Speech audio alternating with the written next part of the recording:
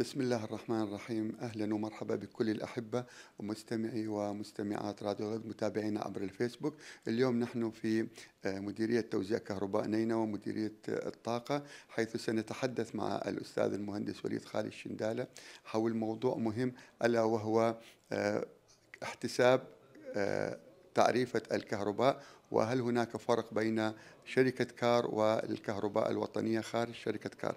السلام عليكم. عليكم السلام. أهلا وسهلا. صراحة حد يعني كلام كثير حول أن هناك فروقات في التسعيرة بين شركة كار والكهرباء الوطنية أي نقول المخدومة وغير المخدومة. يعني حدثني عن هذا الموضوع. أه، أهلا وسهلا براديو الغد. الحقيقة تسعيرة الكهرباء هي تسعيرة أه، سيادية خلينا نقول صادرة من مجلس الوزراء. بموجب القرار 39 لسنة 2018 نعم. اللي وحد تسعيرة الكهرباء لكافة مناطق العراق. بضمنها شركات الخدمة والجباية العاملة في كل أنحاء العراق. فما يوجد أي فرق بين تسعيرة الكهرباء اللي تصدر في قوائم كار مع تسعيرة الكهرباء اللي تصدر في قوائم آه، المديرية العامة لتوزيع كهرباء الشمال. البعض يقول انه شركة كار نعم. كانت فترة شهريا كل 30 يوم وقبل أيام تجاوزت أصبحت 42 يوم ولهذا كانت القوائم آه، يعني أكثر من 200 300 وصل إلى 400 ألف. والله السبب هو كان يعني شأن إداري صار تأخير في إصدار القوائم بين الشركة العامة لتوزيع كهرباء الشمال وبين شركة كار على تجديد فترة العقد لأن العقد كان ينتهي يوم 15 10 2024 فكان اكو مباحثات فلهذا تأخرت المدة. أصبحت 42 يوم بدلا من 30 يوم. بالنسبة للتسعيرة نعم. يعني خلينا نبدأ مثلا الوحدة من واحد إلى 1500 كيف تحتسب؟ نعم. حتى المواطن يكون على بينة. وهذا التصاعد كل ما يصعد فعلا تمام يعني يأثر على التسعيرة؟ نعم. بالنسبة لتسعيرة الكهرباء بالنسبة للصنف المنزلي يبدأ من من واحد إلى 1500 وحدة هذا ب 10 دنانير نعم. من 1500 وحدة إلى 3000 وحدة هذا ب 35 دينار. من آه 3000 وحدة إلى 4000 وحدة ب 80 دينار وما تبقى 120 دينار. هاي خلال 30 يوم. خلال 30 يوم. أما خلال 48 خلال 42 يوم إيش راح يصير عندنا؟ بالسعر الأول راح يصير 2100 وحدة في 10 دنانير 2100 وحدة في 35 و1400 وحدة في آه 80 دينار. فلا يوجد يعني أي تغيير وأي تغيير في التسعيره يؤثر على المدة. أيضا البعض يقول أنه آه، المناطق اللي خارج كار نعم. مرات تجينا كل 60 يوم وهذا يعني مما يكون التسعيرة أقل عن 30 يوم. هو يعني هذا آه، توجيه وزاري بالقوائم تصدر عندنا كل 60 يوم وشركات الخدمة هذا حسب العقد تصدر كل 30 يوم. وبالمناسبة هاي فرصة أنه أبلغ المواطنين أنه إن شاء الله راح يصبح الإصدار لبقية مناطق العراق راح يكون الإصدار شهري وليس كل شهرين. وهذا ما يعني ما له تأثير بسيط جدا على آه، المبالغ المتحققة على المشترك. يعني ما له تأثير. يعني هاي الفترة اللي شركة كار كانت المبالغ آه، مثل ما قلنا أكثر من 300 400 ألف. هل كان عدد ساعات التجهيز أكثر مما خارج كار؟ أكيد. خلال هاي الفترة ال 42 يوم لو نرجع إلى معدلات تجهيز الطاقة الكهربائية معدلات وصلت إلى 20 ساعة باليوم. وفي بعض المناطق يعني ما لا يقل عن 18 إلى 17 ساعة يوميا. تعرف هاي الفترة يعني كانت فترة الشتاء فالناس لما عنده تجهيز طاقة كهربائية كانت تشغل سبالة تشغل صبات على الكهرب الحمامات أكيد مشتغلة. فلهذا المواطن حس بأنه مبالغ القوائم كانت عالية. السبب هو استهلاك المواطن وليس للمدة أي علاقة بتحقيق المبلغ. السبب هو استهلاك يعني أكو مواطنين يستهلك 7000 وحده بالشهر. اكو مواطنين 5000 وحدة. تعرف هذه ال 5000 وحدة وال 7000 وحدة هاي راح تعبر على الكهرباء تصاعدي. يعني انت عندك 2100 وحدة ب 10 دنانير يصير حقها 21000 بينما ال 2100 وحدة بال 35 دينار يصير حقها 74000 دينار. وال 1400 وحدة اللي راح تجي بعدها راح يصير حقها حوالي 112000 دينار. فالسبب هو استهلاك المواطن العالي أما البقية اللي اللي استهلاكهم عادي طبيعي كانت مبالغهم كلش عاديه.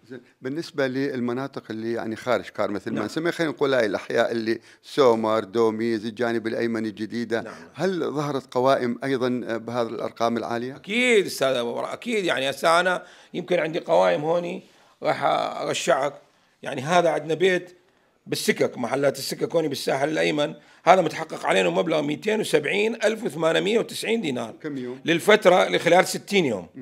عندنا منطقة أخرى يمكن هذه موصل الجديده نفس الفترة 60 يوم 253 ألف دينار و80 دينار. يعني هذا يعتمد المبلغ المتحقق على المشترك يعتمد 100% على استهلاكه. إيش قد يكون استهلاكه يعني جو ال 50 وحدة باليوم محافظ على سعر العشر دنانير ما ما يصرفه يضرب في 10 دنانير أما ما زاد عن هذا الحد أكيد راح يصير تصاعدي.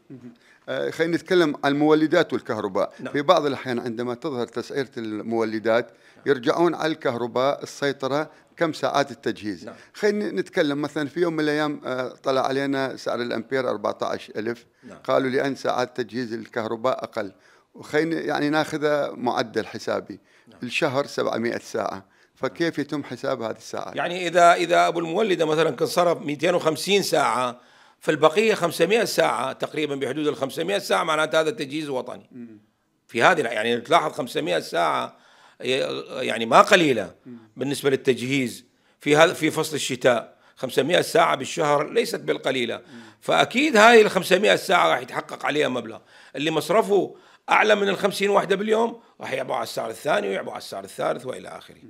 أيضا البعض يقول أنه يعني بصراحة أنتم كمبيعات الطاقة للكهرباء ما مثل شركة كار، شركة كار أنه شهريا يأخذون من عندنا وإذا تأخرنا يقطعون عن الكهرباء وبعدين لما نرجعها ب ألف فأنتم ككهرباء وطنيه عندكم نوع من التراخي ولهذا البعض يطالب بعودة الكهرباء الوطنية بدل كار. والله نحن يعني ما يعني ما ما مقصرين بهذا الجانب، نحن متابعين، يعني أنا يوميا يجيني يمكن 100 استمارة فحص المواطن المتجاوز وعن آه، نعمل له تقدير صرفيات على فترة التجاوز مالته. ونحن عندنا حملة كبرى إن شاء الله خلال الأسبوع القادم على كل مقاييس مدينة الموصل لتدقيقها وتدقيق التجاوز والتلاعب اللي بالمقاييس. أيضا عندنا اليوم جمعيات عندنا مناطق آه، بدون آه، مقاييس. نعم. لا هي إلكترونية ولا هي اعتيادية. وبعدين تخرجون وتعملون عملية تقدير. هل تعتقد هذا صحيح؟ ومتى سنوفر هذه المقاييس؟ نحن لا يمكن نعمل تقدير لأي مشترك إذا ما اشترك عندنا. يعني أي مستهلك كهرباء إذا ما نفتح له حساب نحن وين بنودي الفلوس. ما ممكن إلا نفتح له حساب عندنا اشتراك وحساب حتى نحقق له مبلغ ونعطيه القائمة. فما ممكن نودي له قائمة بدون حساب. يعني الآن عندنا كثير من الاراضي الجمعيات عنده كهرباء نعم. سحب كهرباء أنتم كوطنية طايتمه ولكن بدون مقياس. ها هو فتح حساب عندنا بدون مقياس. نحن الحقيقة الوزارة أوقفتنا عن شراء المقاييس الميكانيكية، الآن التحول إلى المقياس الذكي. فلهذا المقاييس اللي بقت عندنا الآن عن يعني عن شدة لبعض بعض البيوت والبقية إن شاء الله مستمرين بربط المقاييس. بالنسبة للتقسيط اليوم مثلا طلعت علي قائمة 400 ألف. باستطاعتي أنا قسطها؟ نعم نحن الحقيقة يعني حتى عممنا على كل قطاعاتنا مساعدة المشترك اللي عليه مبالغ متراكمة لتقسيط المبلغ. وما جانا ما راجعنا أي مراجع إذا ما قسطنا له مبلغه. لنعمل مقارنة بين نعم. شركة كار والخارج كار، هل نعم. تجينا مثلا قوائم آه، بشركة كار 20000 30000 كذلك في المناطق الأخرى؟ نفس الشيء بالضبط ما قلت لك السبب الرئيسي هو يعتمد على الاستهلاك المشترك. المشترك المفروض يحافظ على معدله 50 وحده باليوم هذا على السعر المدعوم اللي هو ب 10 دنانير الوحده يعني يصرف له 1500 وحده يطلع له 15000 دينار ما زاد عن هذا راح ينحسب في 35 دينار. فيعتمد أكثر المبلغ المتحقق على استهلاك المشترك. أخيرا بالنسبة للمناطق اللي أو اللي نستطيع أن نسدد بها المبالغ نعم. مثلا في الجانب الأيمن والأيسر. نحن عندنا مراكز جباية منتشرة في المدينة في الساحلين الأيمن والأيسر بحدود ال 18 مركز جباية. بأي مكان من حق المواطن أن يسدد أخيرا ماذا تقول لمن يتابعنا ويسمعنا؟ أنا الحقيقة يعني آه، ما أريد أتدخل بشغلكم وإنما أنا ألاحظ أكو لغط كلش كبير صار على موضوع آه، قوائم كار شرحنا أكثر من مرة وقلت لهم أنه السبب الرئيسي هو طول المدة والتجهيز كان عالي فلهذا أصبحت المبالغ المتحققة على المشتركين شوية عالية. هل هناك فكرة أنه نستمر بأحياء أخرى آه، تكون من ضمن شركة كار وهل شركة كار يعني بعد التخطيط مالها وفرت لنا بعض الميجات؟ هو أكيد الحقيقة التعليمات من الوزارة إيقاف تسليم مناطق لشركة كار. آه، أما ميجات أكيد صار لأن المواطن حس بانه حس بانه قوائمه عالية وحس بانه الشهر كل شهر تجي القائمة فأكيد عمل ترشيد. فنحن صار عندنا نسبة ترشيد بحدود ال 25% في مناطق كار. وفرت لنا طاقة نستخدمها بأحياء أخرى نعم. شكرا جزيلا المهندس وليد خالد شندالة. آه يعني مسؤول قسم مبيعات الطاقة في دائرة توزيع كهرباء نينوى. أنتم سمعتم ما تفضل به الأستاذ المهندس. تبقى التعليقات. إحنا نتلقى التعليقات نسمع هذه التعليقات وتكون الإجابات إن شاء الله. ودائما نأكد على موضوع مهم ألا وهو ترشيد الكهرباء مع ترشيد الماء. السلام عليكم.